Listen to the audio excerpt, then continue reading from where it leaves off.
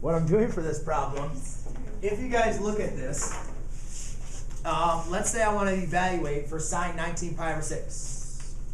If I want to evaluate for 19 pi over 6, a couple things you guys can look at this and say, well, we know that, you know, here's our initial side, here is pi, and if I'm going to go over sixth of them, right, I told you guys to break them up into sixths.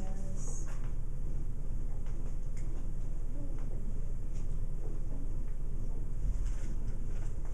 Right? I know this is not equal, but you could say this is 1 pi over 6, 2 pi, 3 pi, 4 pi. How did I mess this up? Eight pi. Yeah.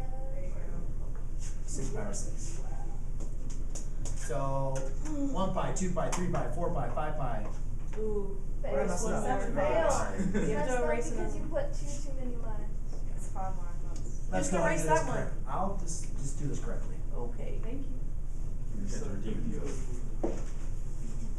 So if I want to see what the 1 sixth is, okay, again, what I can do is break it up into thirds. Okay, then what I'll do is, so that's one third, but remember I need to get 6 over 6. So I'll break all these up into halves. Yay. So 1 pi, 2 pi, 3 pi, 4 pi, 5 pi, 6 pi over 6, right? And you guys can keep on going around the circle all the way till you find out where 19 pi over 6 is. Then you have to find the coordinate point for that, right? However, what I want to show you is, if you guys notice, when I go all the way around the circle, I get back to where I started to, right? I just did a revolution, kind of like when we talked about coterminal angles. When you go all the way around, you're back at where you started, right? So if you keep on going around and around, it's redundant. The only thing we care about is where do we end up at, right? So what we're going to do is we're going to rewrite this problem as what we call a period, as eight as a um, a period. So what I want to say is I want to break this up. Well, what is one revolution going around? Half of it's six pi over six. What's going all the way around? 12 pi over 6. So if I say 12 pi over 6, then what else would I have to add to 12 pi over 6 to get 19 pi over 6? You can say you can add 7 pi over 6. Well, like we said, um, when you use a period of an aid, what you're doing is we really don't care about this, right? This is just taking us all the way around the circle. So this ends up equaling sine the same thing as 7 pi over 6. Oh. So that's really what we want to evaluate for because 12 pi over 6 is just going to take us all the way around the circle. It's not going to do anything extra for us.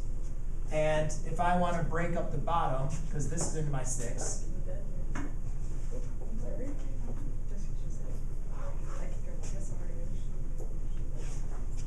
so if this is 6 pi over 6, this point is going to be my 7 pi over 6.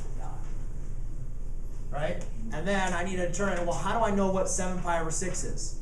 I told you guys to memorize what this point is, right? What is um, pi over 6? And it's going to be square root of 3 over 2, comma 1 half.